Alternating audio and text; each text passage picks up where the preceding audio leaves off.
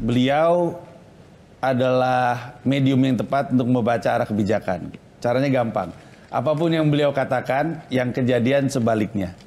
Begitu. Itu bad. Ya, bad. Beliau ini sangat suka simbol ya. Oke. Dulu pakai baju Ada kotak. masalah mahasiswa? Dulu dulu pakai baju kotak-kotak. Terus kalau ingat waktu mau nunjuk menteri, eh semua datang pakai baju putih ya, lengannya digulung. Celana hitam. Eh, celana hitam. Nah sekarang kemarin katanya pakai batik tertentu dan batik tertentu itu katanya motifnya itu motif apa ya? Parang. Eh, itu kingmaker katanya. Parang, bukan. Apa tuh? Oh, Motif parang yang miring Ya. gini kan? Ya itu artinya apa tuh?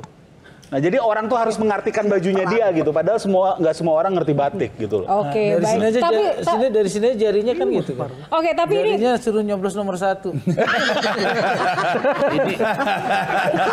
Betul juga. Atau bisa juga jangan coblos nomor satu. Oke, baik. Terima kasih sudah jarinya. Oke, gambar kedua Panji dulu. Opininya seperti apa? Tadi mah Kenapa bercanda. kenapa Tadi mah tadi mah mendeskripsikan sosok ini Panji? Dia udah nggak tahan. Karena yang ini akan terlibat lebih lama di depan kita semua ketimbang bapaknya yang lebih ada di belakang. Jadi saya mesti cermat banget nih dengan apa yang saya katakan. Ini 20 tahun. Iya, mungkin. Mungkin Panji mau mikir dulu ya. Baik, kalau saya Kalau saya ngelihatnya ini adalah benar ini ma- masa depan Indonesia itu bisa ini nanti potretnya kalau kita nggak segera bertindak ya. Karena nggak mungkin 2029 orang ini hanya puas dengan wakil presiden. Mungkin akan jadi presiden. Dan kalau presiden itu dua periode sampai 2039. Panji setuju nggak dengan Semi?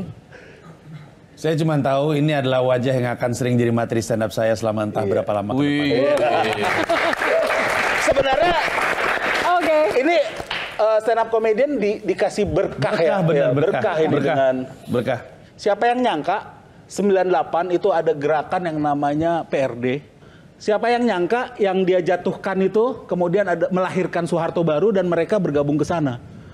Jadi kalau kita bilang hari ini ini akan melahirkan politik dinasti, kita dicela.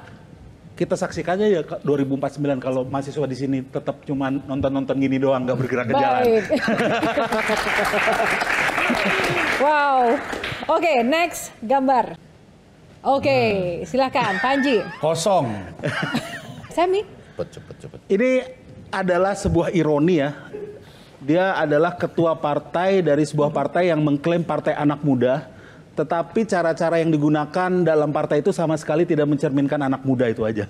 Udahlah, kalau misalkan ada orang, dia adalah ketua umum partai, diajak ngobrol soal orde baru. Eh. Tolong, tolong, tolong cerita sama saya. Saya juga nggak ngerti nih orde baru ini seperti apa. Soalnya saya masih terlalu kecil. Kalau dia bukan ketua umum partai, dia boleh ngomong kayak gitu. Tapi dia, ayolah, ketua umum partai lah. Kalau belum media training, nggak usah jadi ketua umum partai dulu. Kosong. Nanya juga. Nanya. Tadi udah. Kalau saya Gua menampak urusan, urusan dia berdua deh ini. Enggak, Panji habis ini pergi ke Amerika enak dia. Tugas Baik, terima kasih.